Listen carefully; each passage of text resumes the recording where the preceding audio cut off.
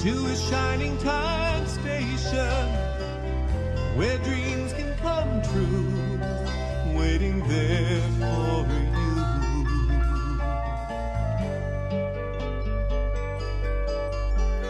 So much to see, so far to travel, so much to learn to know. Friends by your side, hopes to hold on to, who knows how far you'll go.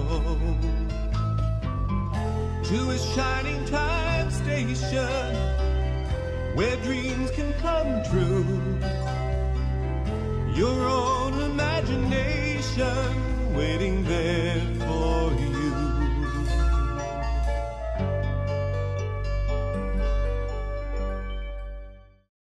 four, three, two, one. Fire in the hole.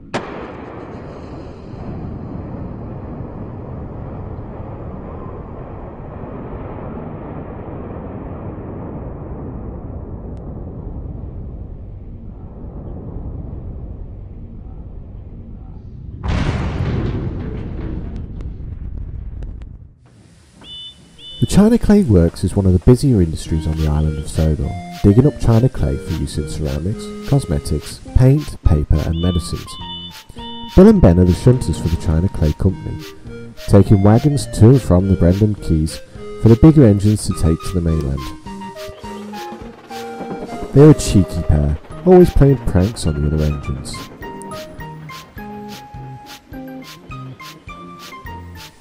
Do you see what I see, Ben?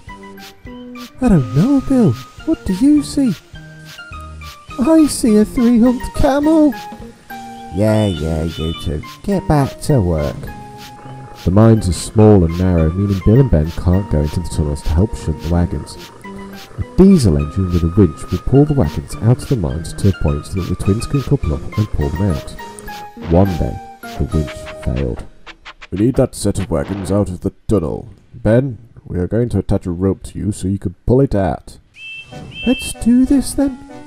They spent an hour pulling the trucks out of the mine shaft, stopping every few metres to shorten the length of rope and bend to run forward a bit. Finally, the wagons were out of the tunnel. We need something better than this. Those winches are breaking down too often. What about a narrow gauge loco? They are tiny enough. Ah, it would cost too much money to lay new track. Actually, that's given me an idea. A few days later, Edward stopped near the sidings used by the twins with a new loco on a flatbed. Be careful with those two. They can be very cheeky and play pranks. Don't you worry, I can hold my own. Good luck.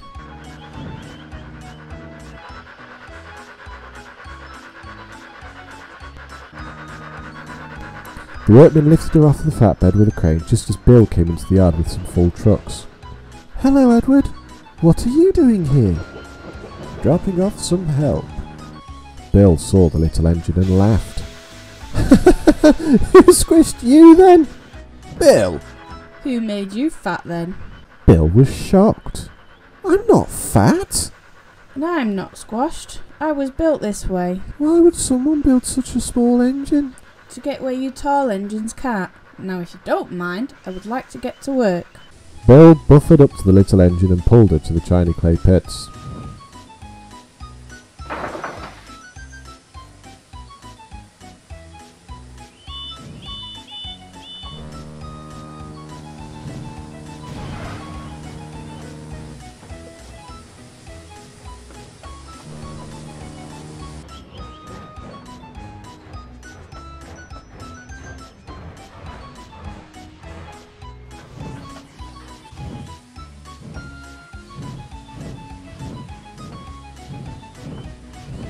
Ben was working further in the yard and didn't see the little engine put into the shed.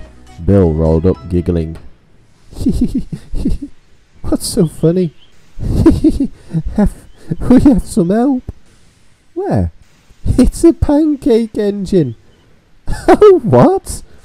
Over in the sheds, you'll see. And he steamed away.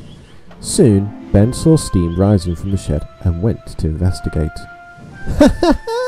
My, my, you are a pancake engine. You made that joke already. My brother did. Brother? Yep. I'm Ben, he's Bill. And I'm Sunny. I can't wait to work. This looks like a fun little yard. Oh, you're used to little jobs, I bet. You're not much bigger than me, Stumpy. Stumpy! Bill rolled up to get some coal. Listen here, you two. I'm here to work. I'm just as strong as either of you. Now, if you excuse me, I have some shunting to do.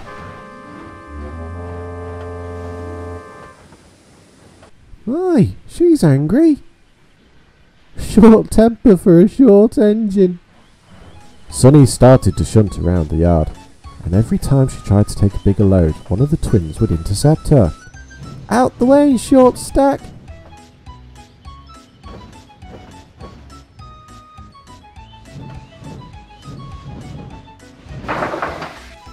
Careful, Mousie. Don't want to burst a piston. Her pressure built in her boiler as the twins kept her from doing her job. Soon the twins had a long train of trucks to take to the docks. They struggled to get the train going. Come on, Ben, put your frames into it. Says you, open your regulator. Sunny watched and then decided to help. Buffering up to the back, she pushed with all her strength and got the train moving.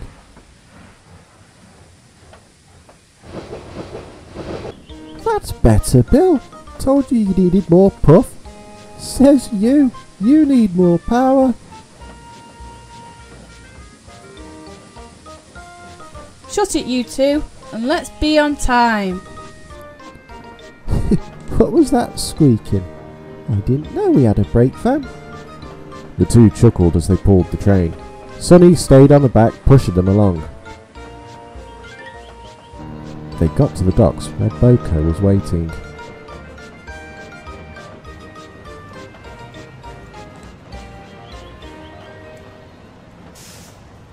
Hello, you th- three? Oh, you must be Sunny. Edward told me about you. Hello, I'm new to the island.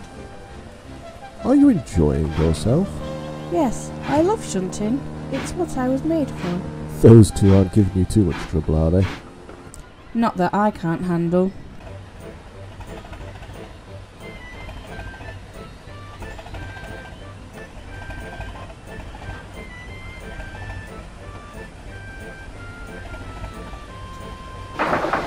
Hi there. Welcome to the island, little missy. I be salty. What a funny name. It be for me working by sea and always covered in sea salt. Salty runs the harbour here. Anything you need, let him know. Just don't let him tell stories. He tells as old as time. And take a long time. Go sing a shanty. There once was a ship that put to sea. The name of the ship was the Billy T. The winds blew up her bows, did down, oh blow, my boys, boys, blow. Soon may the wellerman come to bring us sugar and tea and rum. One day when the tonguing is done, we'll take our leave and go.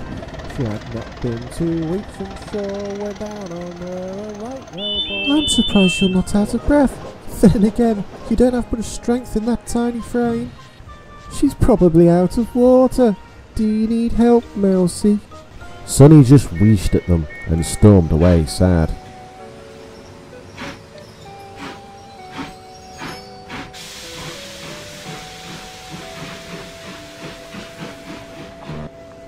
You two are horrible. You know that? She's here to help you, and I heard her working hard to get here. If this is how you two treat guests, then I'm shocked and disappointed in you both. We were only teasing. Yeah, she called us names. But did she question your strength? Or your abilities? The two sat quiet for a moment. I thought not. You two best go apologise to her before I tell your controller what you've been up to. The twins sadly steamed away.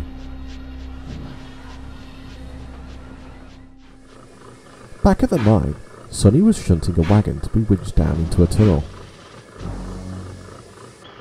Careful, They've got explosives in. I will. They hooked the truck to the winch and slowly lowered it down the tunnel. Then there was trouble. The rope on the winch frayed and snapped. Look out! The truck raced into the mine. There was a loud explosion and the ground shook. That's not all we have to worry about. We have people down there. Bill and Ben soon appeared and saw the smoke coming out of the tunnel. What happened? The rope gave way, the truck full of explosives ran away down the tunnel. What? What do we do now? We'll have to call for mountain rescue teams. You two won't fit in there. Sunny still had an empty wagon in front of her. She took a deep breath and charged forward. Sunny! She disappeared into the smoke and dust. What was she thinking? She'll be squashed if that roof caves in. The foreman had gone to call for help and came back. Where is Sunny? In there. She what?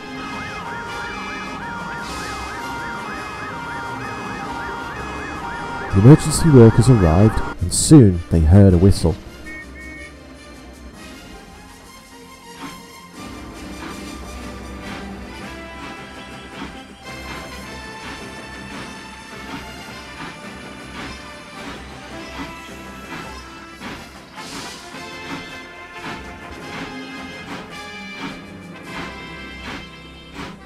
Sunny emerged from the smoke, and in her truck were the miners.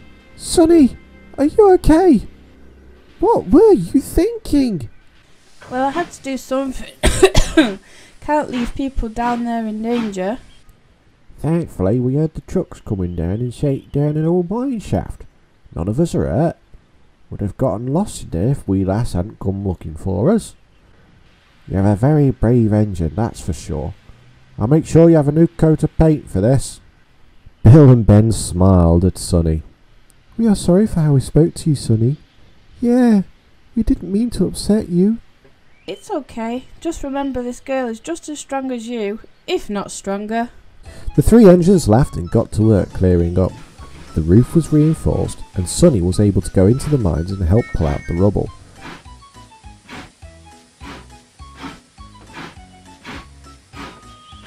She was sent off to the works for a good clean out as some of the dust had clogged up her pipes. She came back in a matching yellow just like the twins. Hello little sister! Ben laughed. The three still joke about and play pranks on each other, but they know when to stop now and when a joke has gone too far. Be careful in there, Pancake!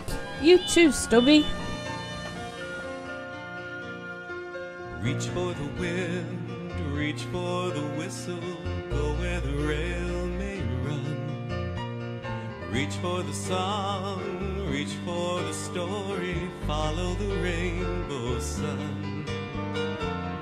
To a shining time station where dreams can come true, waiting there for you. So much to see, so far to travel, so much to learn to know. Friends by your side, hopes to hold on to, who knows how far we'll go. To a shining time station where dreams can come true. Your own imagination's waiting there